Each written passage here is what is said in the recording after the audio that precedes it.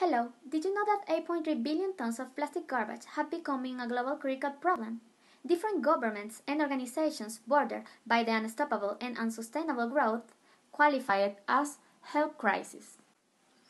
My name is Diana Montero, gas engineer with 10 years of experience in industrial processes, and with my multidisciplinary team we have created Lomonosov Ecology, a resection service for polymeric waste so the companies or individuals can eliminate their plastic waste at the same time that we commercialize the elements extracted during the thermal fractionation process.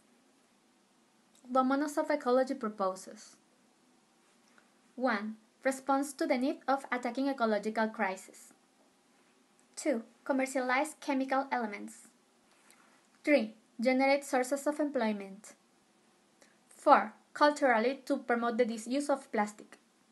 The intention is that every Chilean region and every country of the world join to a sustainable biolife model, reaching or improving achievements of countries like Belgium, Canada, Germany, Japan, Sweden, and Switzerland.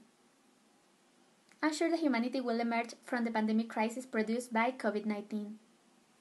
After this, the sanitary situation to be solved to maintain our existence is the uselessness of plastic waste. Let's face this challenge. It's time. Let's do